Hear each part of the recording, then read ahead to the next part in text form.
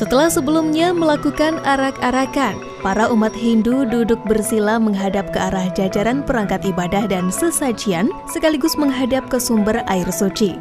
Selanjutnya, pemeluk agama atau pemangku adat setempat akan memimpin berjalannya prosesi upacara. Om yang yang sukla paridaya, om yang Brahma sukla paridana, yang Brahma sudaya nama swaha. Om Brahma ya nama, Om Wisnu ya nama, Om Mangiswara ya nama. Om Nama Sidam Om Puspa Dentaya Naman Swaha. Om Murapatastra ya nama, Om Atma Tatatma Sudaya Nam Swaha, Om Sama Sampurna ya nama. Om Sri Pasupatim Padu Yang Bawantu Sukam Bawantu Purnam Bawantu Ya Nama Swaha tan kebrato tulak sami luput takna mantaning mangku amuja baturu suci nirmala ngeluwe jagate iso angka solawan pertiwi radita lawan mulan sang yang tunggal tunggalam do sang yang pramkatasi taning saloka Om Sidirastu Tatastu Astu Namo Swaha Ada lima tujuan mengapa umat Hindu melakukan ritual melasti ini.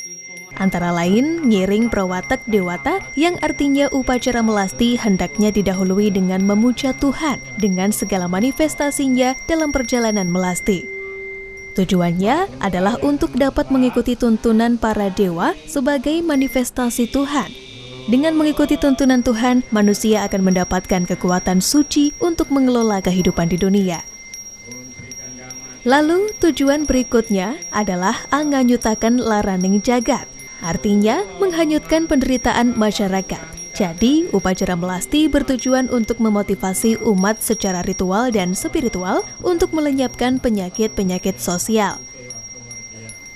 Kemudian, Papa Kelesa, yang artinya melasti bertujuan menuntun umat agar menghilangkan kepapanannya secara individual. Letuhing Buana artinya alam yang kotor. Maksudnya, upacara melasti bertujuan untuk meningkatkan umat Hindu agar mengembalikan kelestarian alam lingkungan atau dengan kata lain, menghilangkan sifat-sifat manusia yang merusak alam lingkungan. Dan terakhir, yaitu ngamet sarining amerta ring telengeng segara, artinya mengambil sari-sari kehidupan dari tengah lautan. Ini berarti melasti mengandung muatan nilai-nilai kehidupan yang sangat universal.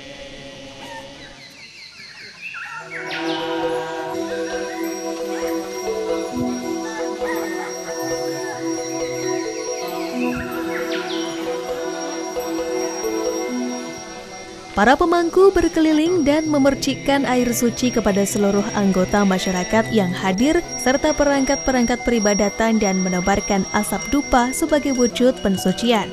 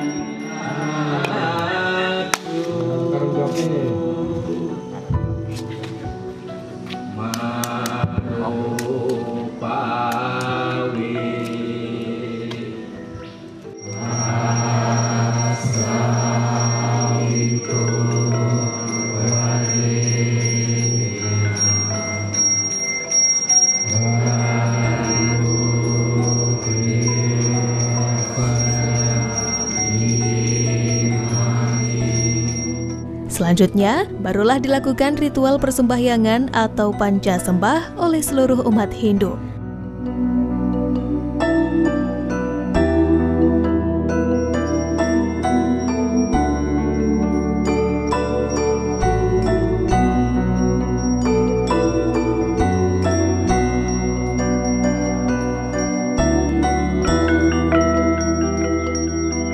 Sang Yang Siwa Raditya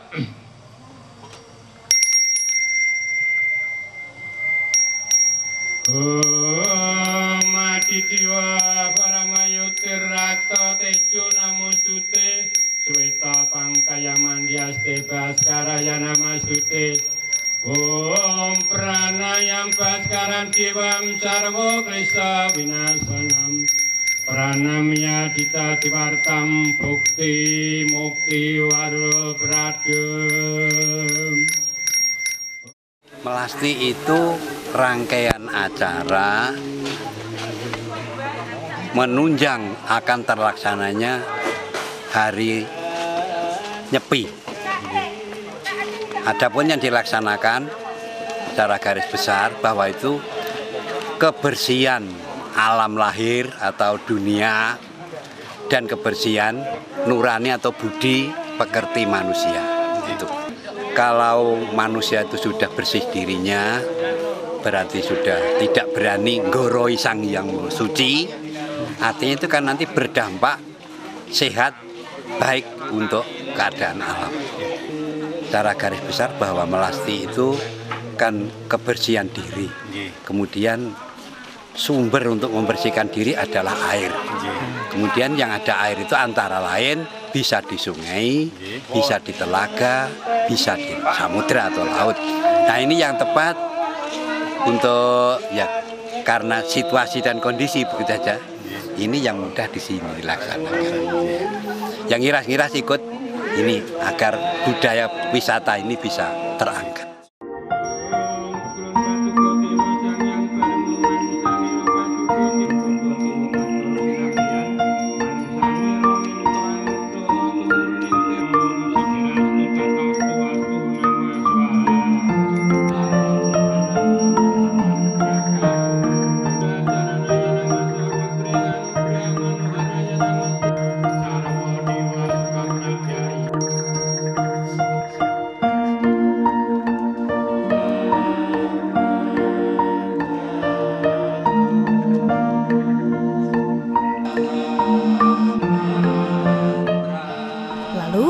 Pemangku membagikan air suci dan bija atau beras yang telah dibasahi air suci.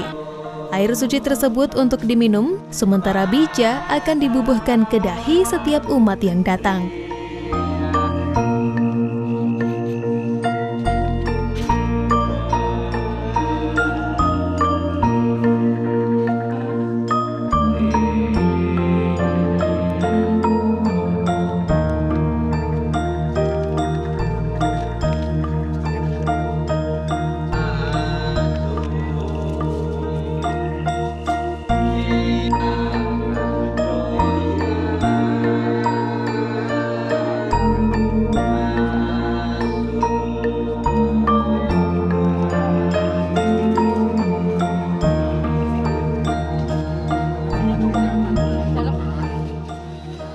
Dengan melakukan ritual melasti, seluruh umat Hindu berdoa kepada Yang Maha Kuasa serta mengucap syukur atas nikmat yang telah diberikan.